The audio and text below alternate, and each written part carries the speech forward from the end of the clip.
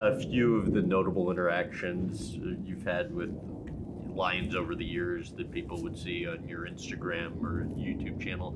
How about the first time one jumped on your back? Your heart's racing when you remember.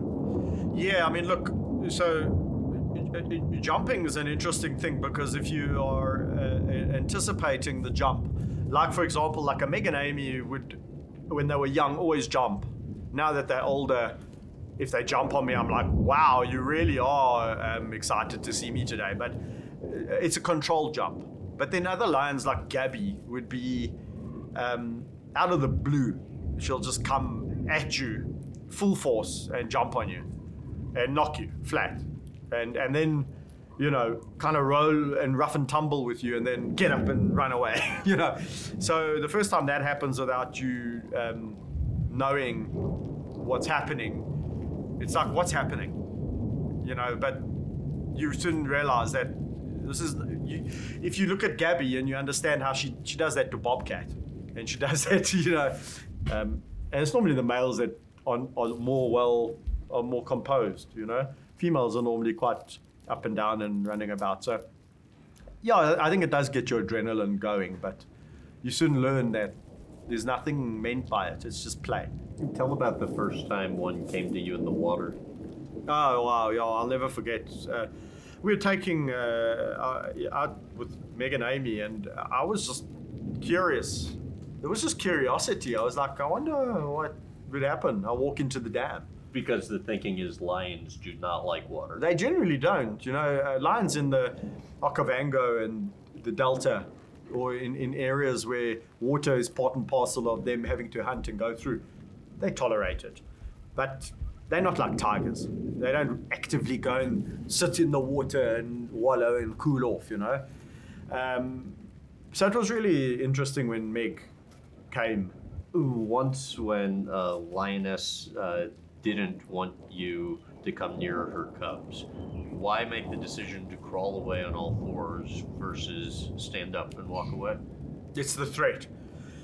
Um, when you walk on your all fours, you are lower, less of a threat. And, and if, if a lion is telling you off, um, it's, it's a good way to show submission. Um, they do respond to being to submission. What were you doing when you were trying to get Maditau to stop attacking a newborn cub, and what happened?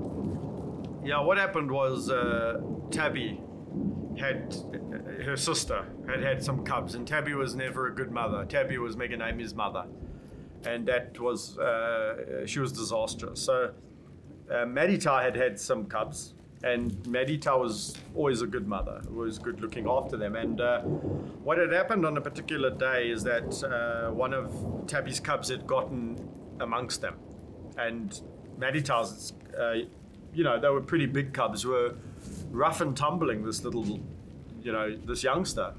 And I got there just in time to hear this thing squealing and it had been lacerated and it was bleeding and they were really playing rough with it, you know.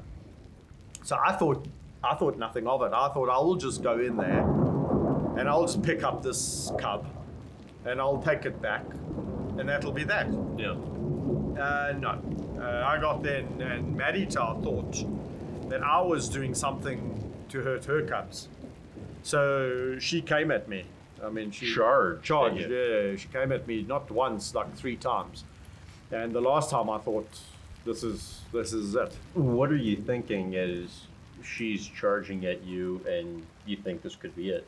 Well, your natural instinct is to run, um, but every uh, every bone in your body says run, uh, but your mind says stupid, because as soon as you run, even though it's a line you know very very well, it could trigger her instinct to just pursue you. You know, so your best bet is to just hold ground and make a noise, or really tell her, you know, tell her off, and so yeah, that's what you do. And the cub? Uh, I went and got my car and I then drove back in and uh, drove over it. Not over it, but over it with the car and then grabbed the, the little one and put it back with, with Tabby. I, I wanted to talk to you about injuries. Take me through what happened where you're feeling unspoken pressure from your nearby family, and you go in to be with the lion.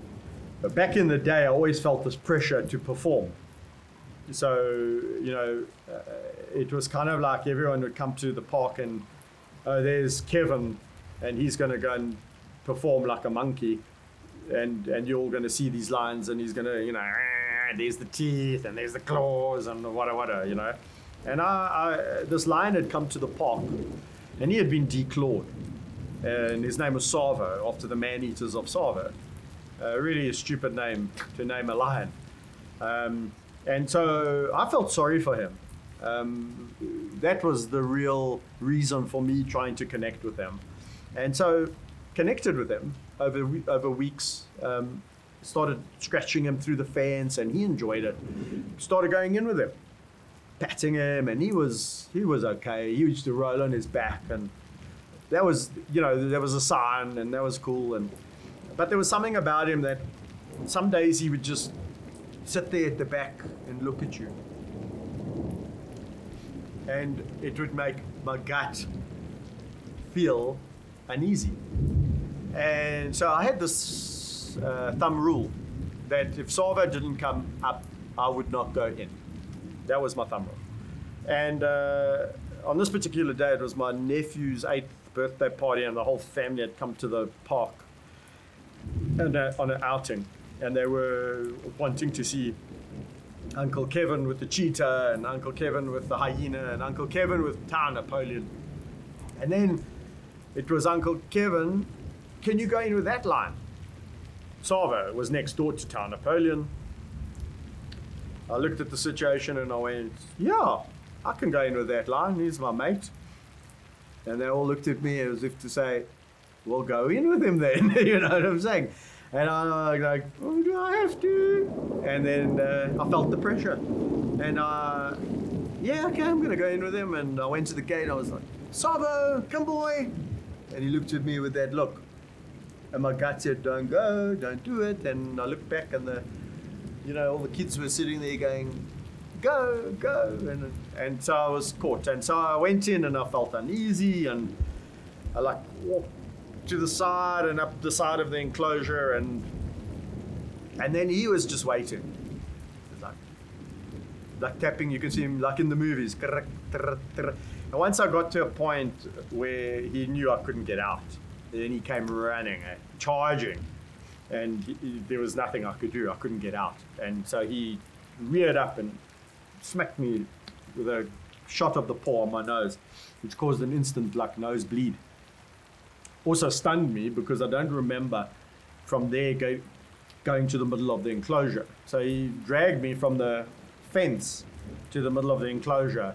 And your family initially is thinking this is A joke. part of the game. They think it's a joke. I think it's part of the action. My brother-in-law, in fact, is saying to everyone, "Calm down. It's it's normal. This is what he does. It's part of the gig." And I'm, you know, I kind of come to in the middle of the enclosure, and he had actually um, hooked me with my belt. You saw how strong they are. I mean, he picked me up and, and uh, dragged me to the middle of the enclosure, but my belt had actually severed and, and tore, leather belt, um, which became my nephew's like uh, gift. Almost he had it in his room for many years to come. But um, at that point, then I think my brother-in-law then realized that this wasn't a joke, and this wasn't um, part of the, the act, and that Tsavo was actually serious. And so, luckily, um, one of the other colleagues who worked with me came banging sticks, and uh, that was a distraction. And so, Tsavo, he came into the enclosure, and Tsavo uh, looked at him and, and then went, Okay, I'm going to go and have a go at you, which allowed me to get up and get out. Uh, not, you know, after, b- before he had, he had bitten me on my arm and he had bitten me on my, my leg here and on my calf, and he had tried to bite me here, but it got my, my belt and my, my shirt. Did you think you were going to die? You don't have time to think that, you just have time to um, react in the way that you would react in a situation like that. You, don't, you don't have time to um, break it down and think, oh my gosh, this is it, or it's just you just do, yeah. One of the lions you were closest to, Thor. Um, take me through the attack during filming. Yeah, I mean, this is the learning your lessons about pushing um, and pressure.